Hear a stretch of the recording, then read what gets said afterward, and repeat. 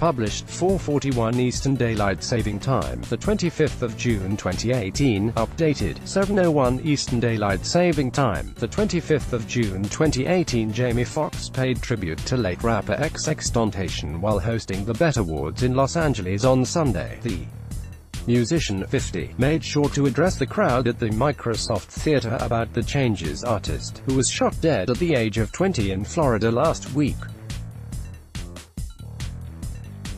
Taken to the stage, Jamie made a heartfelt plea to not become too used to senseless violence and called for change in the way people react to gun deaths.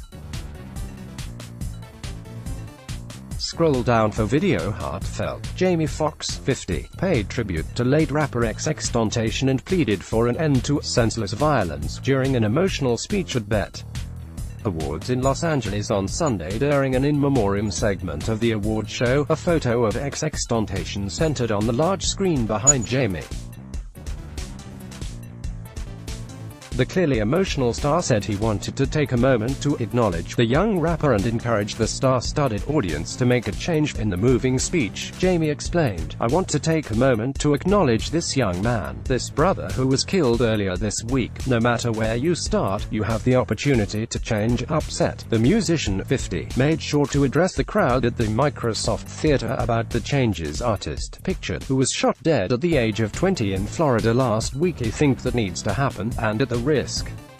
If sounding old, we can't get used to these types of things. I think we're too used to young people being killed, we don't even trip anymore, pleading with the crowd to use the music to incite positive change. Jamie asked everyone to pay attention to those who have lost loved ones, and recalled his connection to the murders of iconic 90s rappers Tupac and the Notorious B.I.G. Jamie continued, We've got to adjust our satellite a little bit, we all have to figure out a way to not become too used to what's going on right now, and that's the truth. Emotional, Jamie asked viewers to pay attention to those who have lost loved ones, and recalled his connection to the murders of iconic rappers Tupac and the Notorious B.I.G. Please, Jamie continued, we've got to adjust our satellite a little bit, we all have to figure out a way to not become too used to what's going on right now, and that's the truth. He was actually in Las Vegas when Tupac was killed. I was in LA when Biggie Smalls was killed. It seems senseless. I'm not saying that we can stop everything, but we've got to figure something out. Jamie's dedication comes after TMZ reported that XXXTentacion died knowing that he was going to be a father.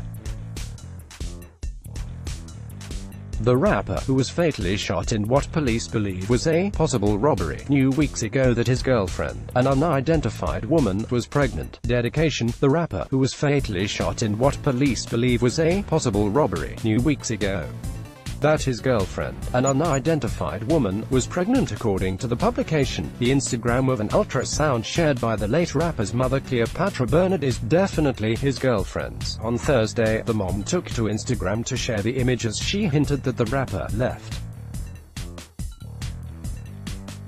a final gift for the world.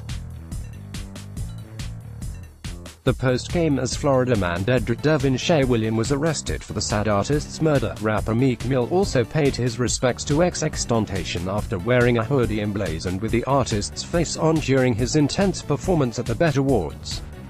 Paying tribute, rapper Meek Mill also paid his respects to XXXTentacion after wearing a hoodie emblazoned with the artist's face on during his performance at the BET Awards.